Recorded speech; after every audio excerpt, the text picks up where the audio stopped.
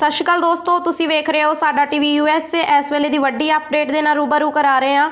ਮੁੱਖ ਮੰਤਰੀ ਚੰਨੀ ਨੇ ਹੁਣ ਕਰਤਾ ਨੌਜਵਾਨਾਂ ਲਈ ਇਹ ਵੱਡਾ ਐਲਾਨ, ਜਨਤਾ 'ਚ ਖੁਸ਼ੀ।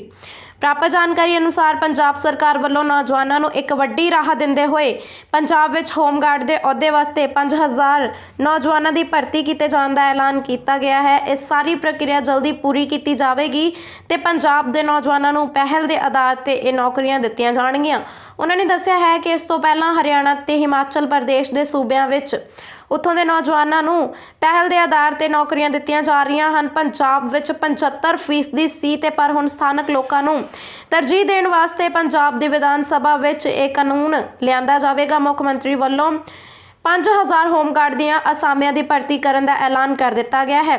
ਇਸ ਤੋਂ ਇਲਾਵਾ ਉਹਨਾਂ ਵੱਲੋਂ ਪੰਜਾਬ ਵਿੱਚ ਰੇਤ ਤੇ ਇੱਟਾਂ ਦੀਆਂ ਦਰਾਂ ਨੂੰ ਵੀ ਘੱਟ- ਘੱਟ ਕਰਨ ਦੇ ਲਈ ਕੁਝ ਰਿਆਇਤਾਂ ਦਿੱਤੀਆਂ ਗਈਆਂ ਹਨ। ਪੰਜਾਬ ਦੇ ਮੁੱਖ ਮੰਤਰੀ ਨੇ ਕਿਹਾ ਹੈ ਕਿ ਉਹਨਾਂ ਦੇ ਵੱਲੋਂ ਪੰਜਾਬ ਵਿੱਚ ਬੇਰੁਜ਼ਗਾਰੀ ਨੂੰ ਦੂਰ ਕਰਨ ਦਾ ਐਲਾਨ ਕੀਤਾ ਗਿਆ ਸੀ ਤੇ ਜਿਸ ਵਾਸਤੇ ਉਹਨਾਂ ਵੱਲੋਂ ਨੌਜਵਾਨਾਂ ਨੂੰ ਨੌਕਰੀਆਂ ਦੇ ਕੇ ਬੇਰੁਜ਼ਗਾਰੀ ਨੂੰ ਦੂਰ ਕੀਤਾ ਜਾਵੇਗਾ। ਤਾਂ ਦੋਸਤੋ, ਇਸ ਵੇਲੇ ਦੀ ਵੱਡੀ ਅਪਡੇਟ ਹੈ।